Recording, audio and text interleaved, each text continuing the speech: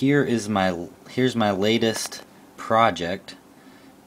The LEDs light up as that frequency. The lower frequencies on the left side and the higher frequency on the right side. As those get louder, the LEDs that you can see light up as I'm talking.